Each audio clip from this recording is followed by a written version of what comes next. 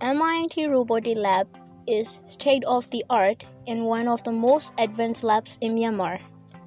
The lab is mainly equipped with two types of robotic platforms a ground mobile robot, QBot 2, and a humanoid robot, RoboNova 2. We have 40 mobile robots in the lab from a Canadian company, Quanser. These robots communicate via Wi Fi here, we demonstrate real-time video transmission and edge detection by the board.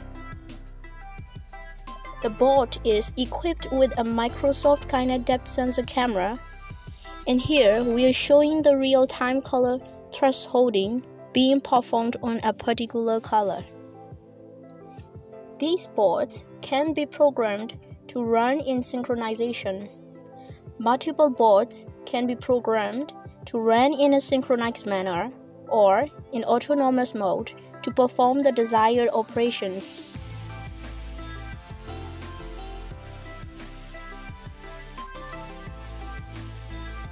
RoboNova 2 is humanoid, which also has a camera module to perform human like actions. We have 10 such robots in our lab.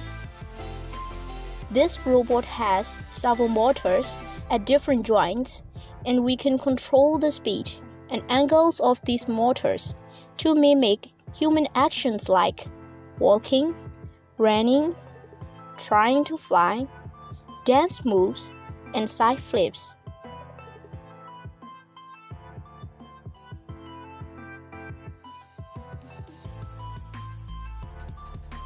This is also programmed to stay upright even if it falls.